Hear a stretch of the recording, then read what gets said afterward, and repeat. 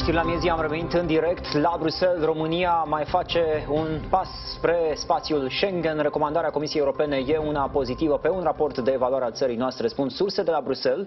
O decizie finală e așteptată în câteva săptămâni când se va reuni Consiliul Justiției și Afacerilor Interne. Ce se regăsește în această evaluare a Comisiei aflăm de la doamna Adina Volean, este comisarul european pentru transporturi în direct la Digi24. Bună ziua, mulțumesc tare mult pentru disponibilitate, doamna Volean. Bună ziua! Într-adevăr, vești bune de la Bruxelles. Am adoptat în Colegiul Comisarilor astăzi un, o comunicare pentru Consiliu și Parlamentul European în care se prezintă evaluarea, un raport de evaluare privind spațiul Schengen. Sigur, focusul sau ce ne interesează în principal este evaluarea privind România, Bulgaria și Croația ca țări în care uh, intenționează să adere la spațiul Schengen. Evaluarea este foarte bună. N-am văzut niciodată termeni atât de elogioși privind stadiul de pregătire, ca să discutăm, de exemplu, despre România. Se vorbește de infrastructură, opere de artă, state of the art, se vorbește de dedicarea și înaltul profesionalism al lucrătorilor din uh, frontierele noastre.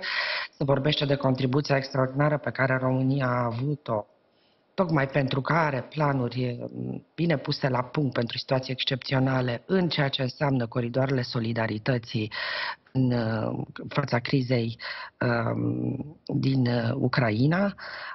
Toate acestea sunt foarte, foarte um, bine evaluate de către Comisia Europeană de la frontiere, de la angajați, la modul în care sunt organizate, domnule Volean, spuneți că din această perspectivă, care pare fi mai degrabă una tehnică, lucrurile sunt clare, România îndeplinește condițiile. Iar dumneavoastră ați validat astăzi în colegiu acest lucru.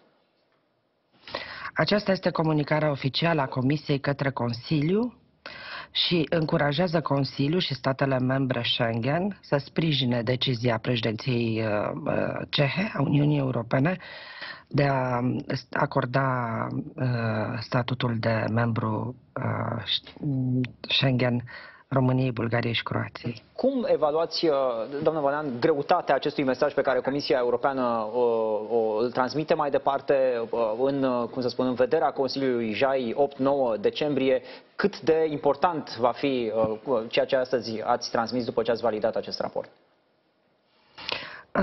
Eu consider că acest semnal este odată în plus um, unul maxim important, pentru că el confirmă, reconfirmă uh, stadiul excelent de pregătire al țării noastre pentru eh, spațiul Schengen, de un semnal politic puternic.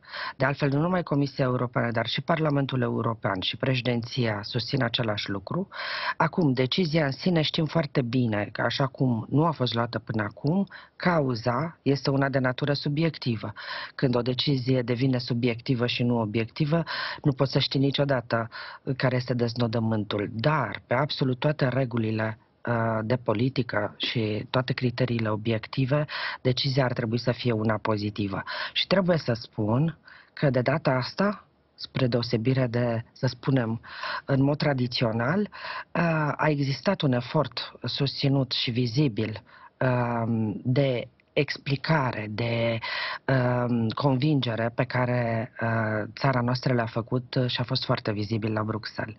Uh, de asemenea, ideea de a avea, de a, de a oferi voluntar o reevaluare, o misiune de reevaluare a stadiului de pregătire a fost iarăși una foarte bună, care a spart puțin cercul vicios în care evaluarea precedentă era de foarte mulți ani, 2011, pe de altă parte, conform regulilor, nu se mai putea face o o, reevaluare oficială. Deci s-au întâmplat niște lucruri care uh, sper eu să aibă un, uh, un efect pozitiv asupra deciziei finale, dar care rămâne una subiectivă, din păcate. Dacă în acest document, în acest uh, raport, doamna Molean, există și chestiuni care uh, sunt la nivel de recomandare de îmbunătățire, de exemplu, în, uh, în România, la nivel de frontiere, la nivel de modul în care suntem organizați, sunt și recomandări acolo, dincolo de valorile pozitive? M-am uitat cu atenție să știți că pentru România nu rămâne nimic în plus de făcut.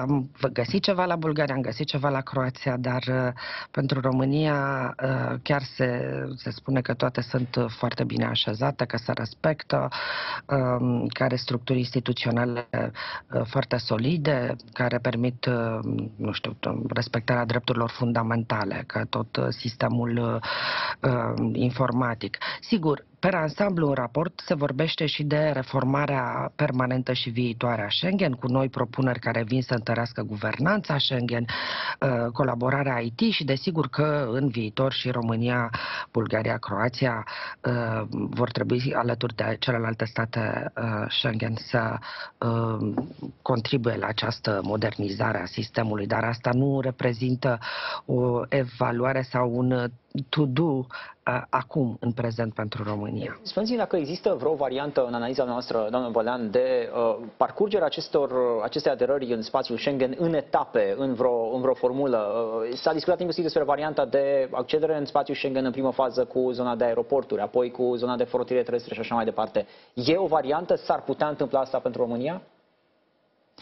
Ea nu este o variantă oficială, în sensul în care nu există o regulă sau nu există um, o evaluare diferită pe modurile de transport.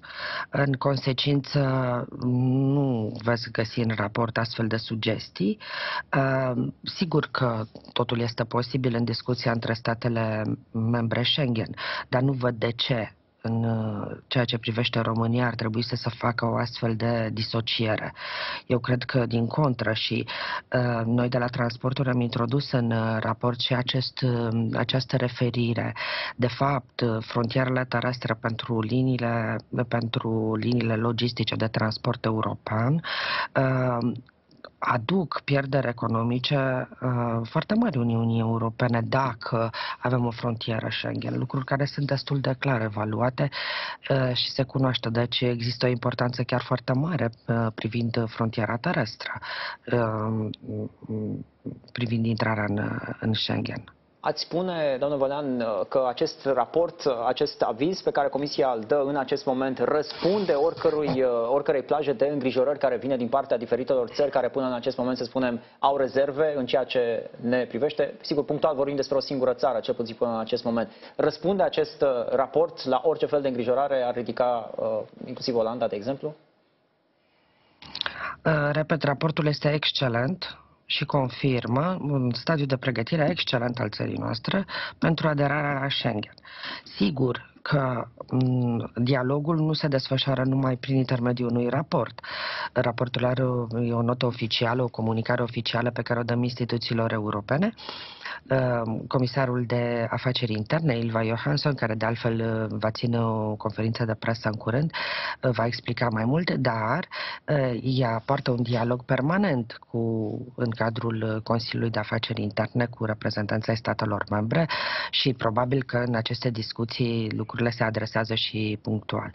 Dar din câte, am, din câte știu, și știu, este că um, există răspunsuri la orice posibilă întrebare și că toate răspunsurile sunt uh, pozitive și încurajatoare. Repet însă, decizia finală rămâne ca și până acum una subiectivă.